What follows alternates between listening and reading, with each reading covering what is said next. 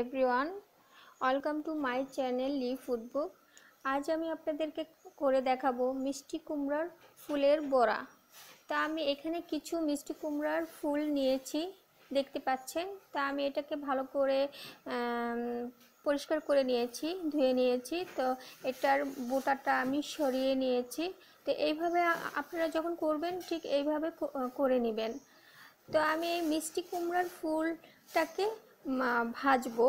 তো প্রথমত আমি এখানে চালের গুঁড়া নিয়েছি। তো এখানে অনেকেই চালের গুঁড়ার সাথে মুসুরির ডাল মিশায়। তা আমি এখানে ডাল মিশাবো না। শুধু চালের গুঁড়া দিয়ে করব। প্রথমত আমি চালের গুঁড়ার সাথে, চালের গুঁড়ার সাথে আমি এখানে আদা, রসুন পেস্ট নিয়েছি। আর হলুদের গুঁড়া, আর মরিচের গুঁড়া। তো এখানে আমি এগুলো মিক্স করে নিব। ভালো করে মিক্স করে নেব। তার সাথে আমি সামান্য পরিমাণ লবণ দেব। তো আমি আগে এগুলো ভালো করে মিক্স করে নিচ্ছি। তারপরে সাথে পানি দেব। তো আমার পানিটা এরকম হতে হবে যে অনেক বেশি হবে না বা অনেক কমও হবে না। তো আমি এটা মিক্স করছি। তো আমি মিক্স করে আপনাদের আবার দেখাচ্ছি। চালের গুঁড়ি গুলানো হয়ে গেছে, দেখতে পাচ্ছেন? তা আমি আগে এটা দেখব যে এটা ঠিক মতন হয়েছে কিনা। আমি আগে একটা ফুল এটাকে ভরিয়ে দেখব। তো হ্যাঁ তো আমি এইভাবে দিব। তো আমি এটা এখনও ভাজবো। এখন আমি তেল দিব। বেশি না বেশি তেল দিয়ে ভাজতে হয় না, সামান্য পরিমাণ তেল দিব। হুম। তো আমি এক এক করে কুমড়ার ফুলগুলো দিয়ে দিব এইভাবে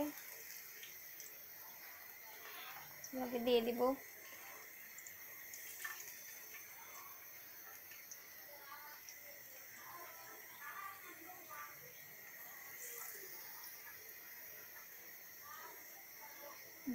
বেশি জোরেও জাল দেব না। মিডিয়াম আছে, আমরা এটাকে ভাজবো। দেখা যাবে বেশি জোরে জাল দিলে এটা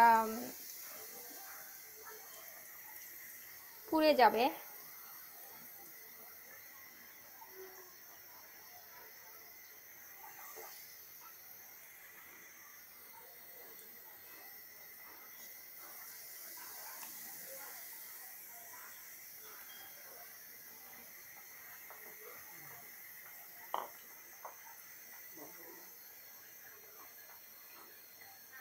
আমি এইভাবে আস্তে আস্তে ভাজবো, তো দেখতে পাচ্ছেন।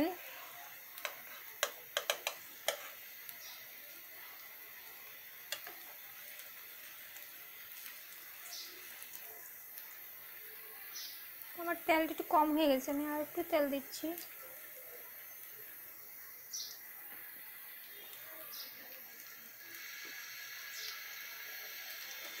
আমরা এই পিঠা, এই ফুলের ফুল ভাজা বোড়া। আমরা সাধারণত শীতকালে এই ফুলটা পাওয়া যায়, কুমড়া ফুল। শীতের মৌসুমে কুমড়া গাছে ফুল ফুটে তখনই আমরা এটাকে আমরা বাজারে পাবো, আমরা করতে পারব।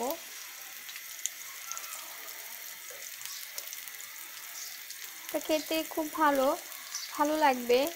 তো ভাজাটা একদম কুড়মুড়ে হবে। সাদা গরম ভাতের সাথে বা খিচুড়ির সাথে আমরা খেতে পারি।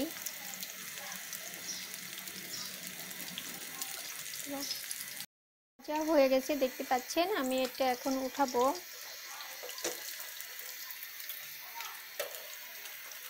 এইভাবে প্রতিটি ফুল বুড়াটা ভাজবো। এইভাবে সবগুলো বুড়া আমি ভেজে নেব।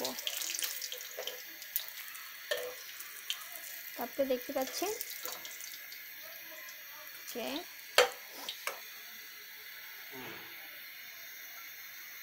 রেসিপি তৈরি হয়ে গেছে। তো আপনাদের কাছে যদি আমার ভিডিওটা ভালো লাগে বা আমার রেসিপিটা ভালো লাগে, আপনারা ট্রাই করবেন আর আমার ভিডিওকে সাবস্ক্রাইব করবেন।